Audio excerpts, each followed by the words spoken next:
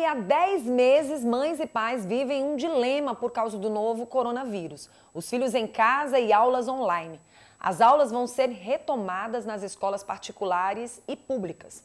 Nós convidamos duas mães que são parte de um grupo, na verdade, né, a favor do retorno das aulas presenciais com as medidas sanitárias adequadas. E aí, assim, de uma certa forma, o que a gente quer dessas mães? Que elas nos deem, assim, a opinião delas a respeito deste assunto. Se elas acham, se elas são a favores ou não sobre esse aspecto. Muito bom dia, Ana Paula, bom tudo dia. bem? Seja bem-vinda ao nosso programa, muito bem-vinda. Obrigada. É, estamos vivendo um momento difícil, Sabemos dos direitos e sabemos dos deveres, né? Sim. E uma das coisas que nos chama mais atenção é que cada dia que passa relacionado às aulas, sempre tem um motivo para dizer não voltar às aulas presenciais. E o que a gente tem observado também nos últimos tempos, né? O que a gente tem, de uma certa forma, o que tem nos chamado a atenção é que praticamente quase tudo voltou. Tudo. Sim, tudo. tudo voltou. voltou restaurantes lotados desde o ano novo, Natal, enfim, até mesmo antes de 2021. Uhum. Podemos dizer que em 2020 já tinha voltado praticamente tudo. Tudo. Sim. Natal e Ano Novo, restaurantes extremamente lotados. Muitas pessoas usando máscara e muitas não usando máscara, porque dentro do restaurante é quase difícil você ver Sim. Pessoas só tirando a máscara no momento que vão se alimentar. Geralmente elas tiram e não colocam mais. Crianças por toda parte? Né? Crianças por todas as partes. E algo que nos chama bastante atenção é que nada contra. Eu quero que as pessoas entendam que o que nós estamos falando aqui é para que as autoridades, para que as pessoas possam ter consciência do que está acontecendo. Sim. Nós não estamos dando uma opinião nem negativa, ao mesmo tempo, a nossa intenção é que essas opiniões, é que essas, o que nos é dado como direito, a gente possa realmente, de forma democrática, dizer o que nós estamos vendo, né? Uhum. o que as mães estão vendo, o que a população está vendo, e que parece que uma boa parte não está usando máscara aqui, mas aqui, ó. É. né? A, a, a impressão que a gente tem é que a máscara é para não enxergar não é para falar, Sim. não é para se proteger de algo. Mães, nós sabemos que uma boa parte das crianças não precisam usar máscara. Sim. Isso. não é isso? Anos. Na verdade, de acordo com a OMS, de 0 a 5 anos e 11 meses, ou seja, em tese até 6 anos. Então, até os 6 anos completos, essas crianças não deveriam usar máscaras. A OMS tem essa orientação por conta dos menorzinhos risco de sufocamento e dos um pouquinho maiores que não tem tanto risco de sufocamento, mas porque eles não a máscara incomoda, então as mãozinhas sujas vão ao rosto toda hora. Ao passo que se estivessem sem as máscaras, essas mãozinhas não estariam no rosto. Acaba que a máscara passa a ser um item até de maior contágio por conta disso, das mãozinhas irem ao rosto. Mamãe, eu queria que você pudesse explicar para quem, quem está em casa qual a sua profissão, mamãe, mamãe de quem, para que as pessoas pudessem entender que a gente trouxe mães, mães profissionais, mães do dia a dia, mães que querem o melhor para os seus filhos. Vanusa, meu nome é Ilara Madeira, sou servidora pública federal, eu tenho três filhos, eu tenho um menino de 9 anos e duas menininhas de 5 anos e, e eu sou servidora do TRT. Então, certo. Então, eu trabalho já em home office há algum tempo. É, adequar a minha rotina às crianças em casa talvez tenha sido um pouco menos difícil do que para a maioria das mães, porque eu já uhum. tinha essa rotina de trabalho em casa. Mas mesmo assim, é, o que a gente percebeu e que desencadeou esse movimento foi a dificuldade das crianças em se adaptarem a isso, principalmente os menorzinhos. Eles não se concentram em ficar na tela muito tempo, eles reclamam, eles querem ver os amigos. E a gente recebeu, a Ana Paula também junto comigo no movimento, diversos depoimentos de mães de toda sorte de, é, de transtorno que você imaginar. Principalmente mães que têm é, filhos autistas, né? onde tem os relatos déficit de atenção. Sim, e eles estavam sofrendo muito, onde alguns estavam até se automutilando por falta de socialização. Uhum. Né? Então eu e Lara, a gente encabeçou esse movimento é, buscando um direito de escolha, porque como você falou, já que tudo estava aberto, a gente como mãe queria é, é, ter o direito de escolha de mandar ou não para a escola. Então, assim, a gente vem lutando, né? não é fácil. Com certeza. Não é fácil, porque a gente também é, teve muitas opiniões ao contrário de algumas mães, mas a gente entende que também existe uma falta de informação uhum. por ser tudo novo, uhum. o medo delas, né? Mas graças a Deus, já nesse finalzinho, a gente está aí adquirindo essa vitória. Esse né? entendimento, né? né? Ana sim. Paula, eu queria que você também falasse, mãe. Bom, sua profissão. Eu sou a Ana Paula, eu sou empresária, uhum. né? Ultimamente eu estou em casa cuidando do meu filho, do João Marcelo, que tem, vai fazer agora quatro anos, dia 1 de fevereiro. Uhum. Né? E a gente entrou nessa luta, porque você sabe que não é fácil se expor dessa maneira, né? Mas é, esse é o nosso papel. É um amor verdadeiro, né, é, mães? É. Porque assim, o que as pessoas precisam entender que eu também sou mãe de um filho de quase 11 anos, sou mãe de um filho de quase 22. Para o Renato terminar a faculdade dele online, beleza.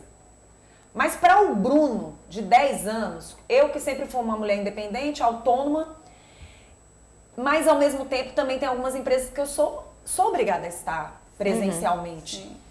Assim como em 2020, muitas mães não puderam se afastar dos seus empregos. Exatamente. E aí vem aquela história. O ano passado, beleza. Mas esse ano de 2021? De novo? Será que a empresa que você trabalha aceita você ficar em casa cuidando só do teu filho? Será? Não. não. Porque assim, o que, é que nós estamos vendo? Me desculpe nada contra, até porque a gente tem bandas, cantores, uma maioria dentro do estado do Piauí que precisa ser lembrado, valorizado e que tem que crescer aqui dentro bandas e mais bandas vindo de fora, de outros Sim. estados, tocar aqui, fazer festa aqui. Cadê a preocupação de não deixar que isso aconteça? Cadê? Agora, a dificuldade de um filho seu que vai estar com todo o protocolo de segurança, afastado um do outro, mesmo que aconteça uma ligação, para quem é que vai a vacina primeiro? Para um idoso. Vai para uma pessoa da terceira idade. Para é. quem vai a vacina? Para aquelas pessoas que têm mais contato direto com as pessoas que estão sofrendo com o Covid, que são os médicos, são os enfermeiros. Os professores, provavelmente, porque é, vão estar ligados vão, aos nossos já, filhos. Os profissionais de educação, na verdade, o Ministério da Saúde até corrigiu, porque tinham professores e trocaram por profissionais de educação para abranger toda a comunidade escolar no plano de vacinação. Então, assim, o que nós queremos não é bater de frente com o que nós estamos sabendo que não é brincadeira. O que precisa é ter uma consciência. No, em julho de 2020, mães, eu presenciei vários pontos com festa. Com festa. Sim. É. Enquanto eu, você e todos nós estávamos em casa presos. Sim. Ninguém está dizendo que é contra. Ao contrário, o que a gente quer é saúde. Claro. Então, rapidamente está chegando a vacina. Uhum. Então, assim, a nossa preocupação é o que é de direito e o que não é de direito nosso. Sim. Por exemplo, o que as mães estão querendo aqui é entender se elas têm ou não direito, porque a partir do momento, nós passamos um ano inteiro pagando escolas. Sim. Sim sem os nossos filhos marcarem presença em sala de aula. Sim. Concordo plenamente. A aula online não, não dá para todo mundo. Não. Infelizmente não dá. Não venha com esse novo normal, não, que esse normal aí para determinadas crianças a gente não sabe combina. Que, que a questão, principalmente da, das crianças que estudam em colégios públicos, essa realidade não chegou até a elas. Né? Verdade. E, sabe, e o movimento também, ele não luta, eu quero deixar bem claro, só pela, pelas escolas particulares. O uhum. movimento, ele luta também pela, pela educação. educação e pela escola pública. Verdade. A gente começou como mães de escolas particulares, né? Nós duas, nossos Quando filhos. começou? É, começou assim, no, ainda mais ou menos em setembro, acho que, se não me engano, em setembro, o COI deu um parecer sugerindo que as aulas presenciais só retomassem em agosto de 21. Uhum.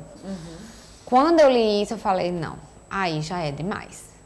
Porque estavam previstas para retomarem no dia 22 de setembro de 2020. E aí não retomaram. E aí vieram com essa de agosto de 21.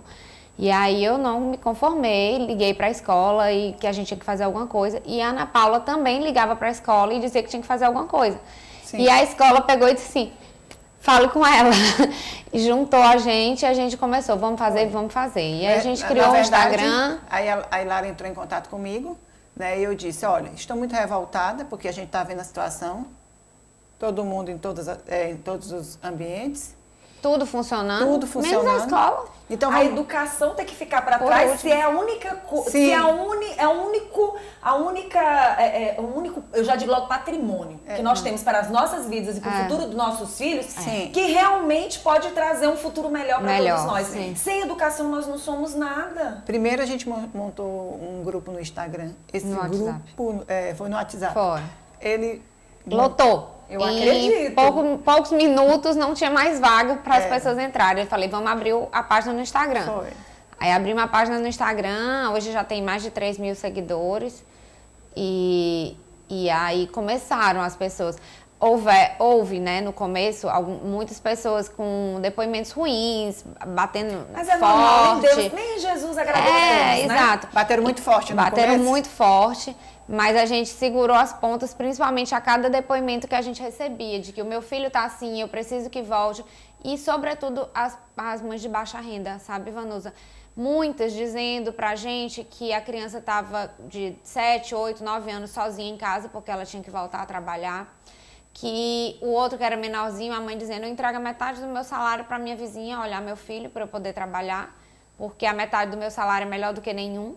Uhum. E, e assim a gente foi vendo que a necessidade de lutar pelas, pelas escolas públicas era imensa, imensa, imensa. Se Quer dizer, na verdade, filhos... vocês, vocês tiveram compaixão, vocês começaram é, como mães de filhos de escolas particulares, mas puderam entender que lá existiam mães clamando para esse apoio. Porque, gente, Isso. não adianta.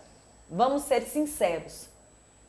É, o brasileiro ainda tem um certo cuidado ao querer chamar a atenção de algo que é nosso. É pra sim, gente. Sim, Infelizmente, sim. a gente... Infelizmente ainda existe isso e a gente não pode calar, não. Nós somos mulheres guerreiras, mulheres de lutas, porque assim, as mulheres que estão aqui têm que trabalhar em casa, têm que trabalhar fora. E em casa, para trabalhar, muitas vezes não dá certo.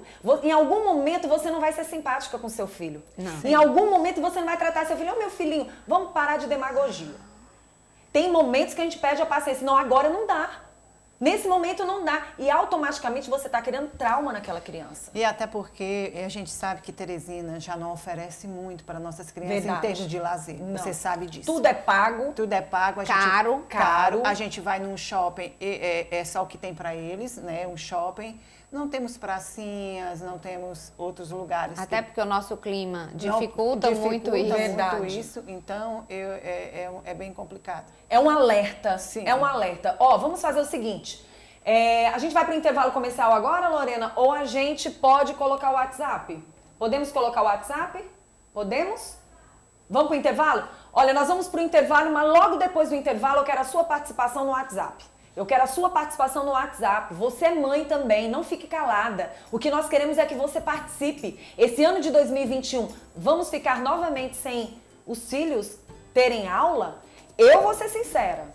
Já estamos com dois anos dentro de um. Nossos filhos pequenos vão fazer supletivo. vão fazer supletivo. Meio ano para uma série, meio ano para outra. E se esse ano passar em branco, não sei Ai. nem o que dizer. Então, nesse exato momento, a gente quer a sua participação. Precisamos unidas chegar aos nossos direitos. Na verdade, gente, essas meninas, que eu digo assim, são duas lindas meninas que estão aqui, duas mães, elas acabaram é, chegando num mundo que nem elas imaginavam chegar. Das mães que encontram dificuldades não só de dar assistência aos seus filhos em casa, mas também de não terem condições, muitas vezes, de ter uma pessoa para ficar com eles em casa, problemas psicológicos destas mães, dos próprios filhos e algo que a gente estava conversando agora há pouco.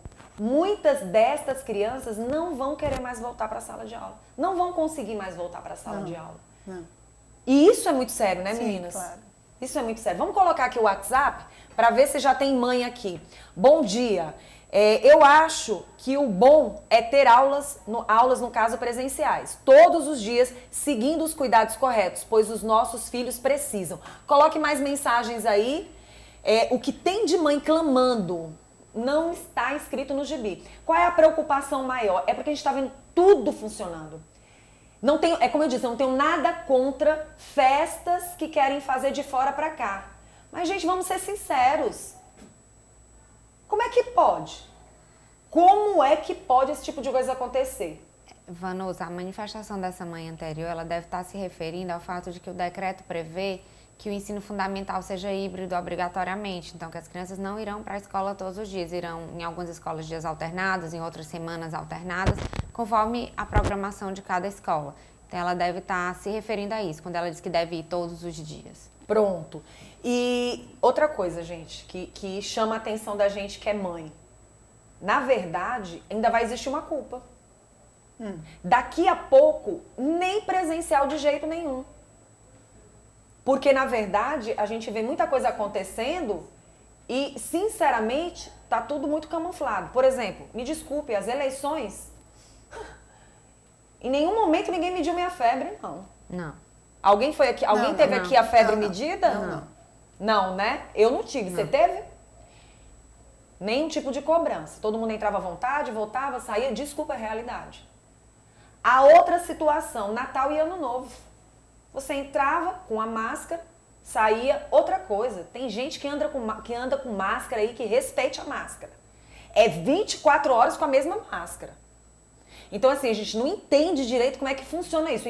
Não importa se a sua máscara, desculpe a, a- a sincera é, forma de, de me comunicar com vocês. Não tem problema se a sua máscara está totalmente suja, imunda. Esteja de máscara. Então tem muita coisa errada, muita coisa errada. Pessoa nenhuma está imune e nem a Covid tem cor, então pode estar em qualquer lugar. Não vou mandar. Um direito seu, mãe. É. E o nosso E movimento é sempre isso que nós precisamos passar para quem está em Isso. casa. É isso que O o, nosso movimento sempre, sempre. defendeu. É o, Vamos di- falar é sobre o nosso isso. direito de escolha. Eu, como mãe, eu tenho o direito de escolha de mandar meu filho para a escola. E a mãe também tem o direito de, de não mandar. A gente prega por isso, pelo direito de escolha. De ter a educação presencial Sim. ou não. Ou não. Sim. Porque assim, o que, que vai acontecer? É o que, que que cada pode família, acontecer? As escolas estarão preparadas para isso? Por exemplo, a escola particular. Se ela tiver dois, três alunos, ela vai querer funcionar com dois, três alunos em sala? É, assim, as escolas particulares vieram ao longo do ano de 2020 fazendo pesquisas sistemáticas com relação a esse desejo da volta das aulas presenciais. Aham. Que no início, mais ou menos em maio, era bem baixo, era tipo 30% que iriam voltar. Hoje, a, é, a resposta a essas perguntas já é bem diferente. Em novembro, a última pesquisa que a escola dos meus filhos fez já tinha 70% querendo voltar em novembro. Hoje voltaram com 80%. Né? 80% já desejavam o retorno presencial. Pronto. Então a gente notou isso, que no começo, como é natural, todo mundo tinha muito Claro. medo. E Nós que à medida que as temos. pessoas vão estudando, vão se esclarecendo, vão verificando que nos outros países as escolas não aumentaram o índice de contaminação e o fechamento não reduziu, que a escola é um ambiente seguro, que as crianças se contaminam menos na escola do que dentro de casa, porque dentro de casa elas se contaminam até mais, porque vem o pai, vem a mãe, vem a funcionária, vem não sei quem. Isso explica essa questão desse, É. desse novo, nessa nova onda. que Até tá o vindo. delivery, quem vai lá para tua casa, E levar seu escolas- alimento, levar as As sacolas. escolas estão fechadas, estavam fechadas e está surgindo uma nova onda, né? Então as crianças. Então, as crianças vão- realmente não são esse agente tão contaminador potencial como se no começo, como no começo se imaginou. Olha aqui, Vanusa, bom dia. Estou feliz demais com o retorno das aulas. Os meus filhos foram muito prejudicados. O meu mais velho está obeso, aumentou 9 quilos, ansioso, não sai do videogame. Estou muito feliz com o retorno deles às aulas na próxima semana. Pronto, mãe, a gente estava agora há pouco falando a respeito desse assunto. Sim. Videogame, o único lazer de uma boa parte dos filhos. Não é verdade? Sim. Videogame, celular, televisão, computador, telas em geral. Muitas crianças estão sofrendo com problema de visão É, e muitas crianças estão sofrendo com, com a dependência desses. E muitos vão sofrer, e nós mães também vamos passar por um momento difícil porque já foi difícil ter um ano inteiro nessas uhum. condições Sim. e quando eles voltarem vai ser um outro problema que nós vamos enfrentar. Porque eles vão ter aqueles momentos que eles vão ficar nervosos porque não estarão com celulares em mão, Sim. porque não está e precisamos realmente resolver essa situação, né? A gente precisa. Não vou mandar meus filhos para a escola ainda. Eles não tiveram Covid e tenho medo das complicações. Me chamo Luiz. Luiz, é muito justo o seu, é, a sua, a sua, o seu receio, né? É justamente por isso que a gente sempre defendeu o retorno de forma facultativa. Os pais que não tiverem medo, ou que as crianças já tiverem tido Covid, ou que não tem grupo de risco em casa, ou que julgam que o risco do Covid seja menor do que o risco de traumas psicológicos e sociais, podem mandar. Aqueles que acham que se adaptaram bem à, rotina da aula online, que tem é, pessoas de, de grupo de risco em casa, que a própria criança é do grupo de risco, não, não mande a gente sempre diz assim, escolha e ouça o seu coração. Mas a gente precisa coração, de escolha. Isso, Sim. o coração de mãe, ele é capaz de definir uhum. isso. Então, assim, escolha e tome sua, sua decisão de forma é, é, tranquila. Mande se quiser, não mande se não quiser, ou se não puder, é. ou se não concordar. Sim. Isso. O que nós, na verdade, queremos é que exista o lá e o cá. Isso. É exista isso, o lá é. e o cá. Porque o que, que acontece? Essa aula ela vai ser online e ao mesmo tempo, se você estiver em casa, beleza. Mas seu filho quer estar presencial. O movimento, sendo... o movimento luta justamente por isso. Mãe, me fala desse A movimento, desse encontro de vocês ontem. Como foi? Ah, então, ontem foi uma manifestação do nosso movimento, uhum. foi chamado Abrace a Sua Escola. Foi uma tentativa né, de mostrar para a sociedade e, de, e para os governantes, principalmente, que as mães, os pais, as crianças, os professores, todo o corpo escolar, as escolas em si estão todos unidos em prol da educação. É, o, o, presencial, ele é, é essencial, essencial, e a gente é, preza por isso, o direito de escolher e que seja a escola seja realmente considerada uma atividade essencial. A gente tem um projeto de lei na Assembleia Legislativa em tramitação nesse sentido e, e é isso, a gente quis mostrar que a gente acredita, confia e está junto com a nossa escola pelo bem dos nossos filhos. Não aprovo aulas presenciais. Tenho dois filhos, Gabriela e Gabriel, estou ensinando meus filhos em casa. E é difícil, mas eu tenho todo o tempo do mundo para isso. Pronto. Pronto. Palavra-chave. Vamos parar aqui e vamos dar continuidade. Mamãe, nós seres humanos, nós somos, é, nós cuidamos das nossas crias. Então, quando você tem condições de cuidar dessas crias da forma como você deseja e pode, maravilha. Gostei muito do que a mãe colocou aqui, que no caso dela, ótimo. Mas aí vamos fazer de conta que você não aprova aulas presenciais, no caso, porque você tem dois filhos, né? E não tem condição de ensinar e trabalha fora. Será que o pensamento seria esse? Aí vem a outra história dela. Porque trabalho no sítio e não tenho nenhum problema com não presenciais. Lamento muito pelas, pelas mães, né, que trabalham uhum. e não podem acompanhar seus filhos. Então é aquela história. De onde vem a compaixão? Uhum. Não estou dizendo que a mamãe esteja errada, ela está certa. Como as, se as nossas pode, mães disseram, se ela ah. pode, ótimo. Mas a gente tem que ver a situação dos dois lados. Uhum do lado de fora e do lado de dentro. E a mamãe que não tem condição, ela vai deixar o filho em que situação? Então, essa criança vai ficar sem educação? Essa criança pode ter problema emocional? Essa mãe que, que não tem condições de ensinar? Me desculpe a palavra grosseira. Tô nem aí, né? Cada um é cada um. Aí é que tá o problema. Não é. Educação é sim coletividade. Educação não é o meu filho ter e o seu não ter. Sim. Todos têm que ter. E o que essas mães querem aqui, o que uma boa parte das mães querem, é a liberdade de ter a presencial e, obviamente, ter online. E você escolhe. Mas o que fica complicado é ter só online. É. é.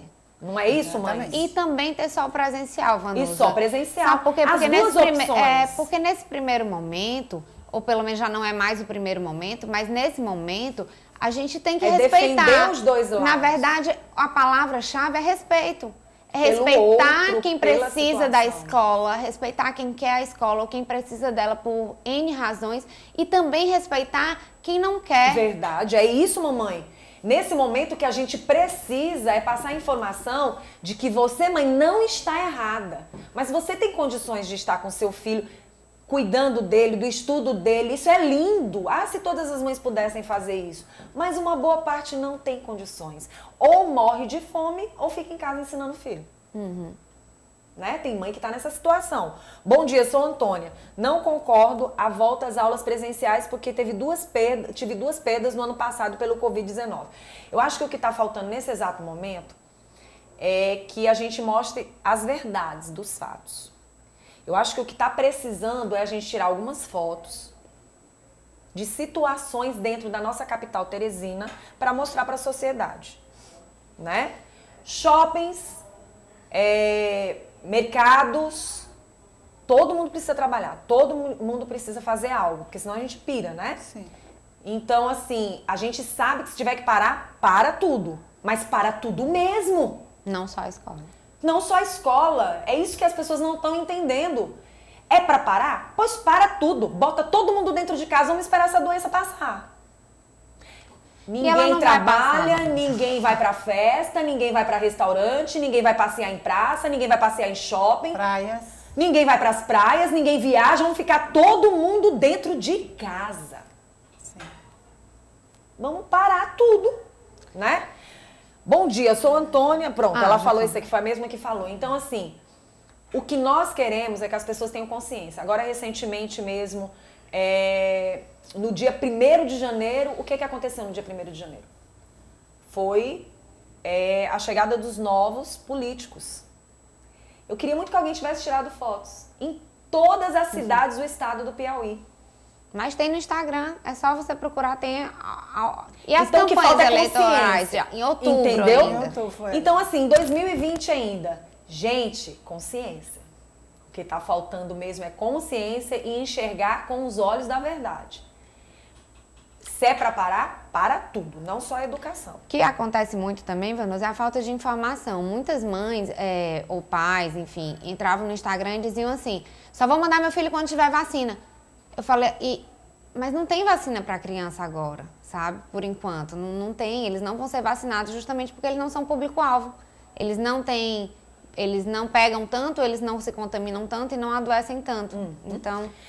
Então, eu queria, mães, agradecer pela presença de vocês e eu gostaria que vocês deixassem uma palavra para quem está em casa ainda não entendeu o que, na verdade, é, é esse, esse projeto, na verdade, projeto não, já essa luta que, foi, que está aí sendo mobilizada por vocês, juntamente com outras mães, pudesse passar de alívio para essas mães. Ninguém está dizendo que é para você não ter aula online, seu filho não ter aula online, ou ficar só presencial. Na verdade, o que todas as mães querem é a educação de volta para os nossos filhos, não é isso, mães?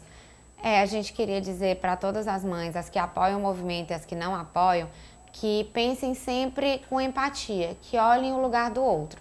Se você consegue ficar em casa, se você pode, se você tem condições, se você tem medo, ok. Lembre daquela família que não tem, que não tem condições de acompanhar seus filhos em casa, que não podem ficar, ou que mesmo que possam, as crianças não querem. Elas estão com demanda psicológica e social muito grande e os pais precisam levar para a escola para sanar isso.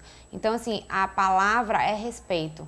E faça a sua escolha, ouça o seu coração. Leve ou não para a escola conforme as suas convicções, mas não interfira e nem julgue o outro que pense diferente de você.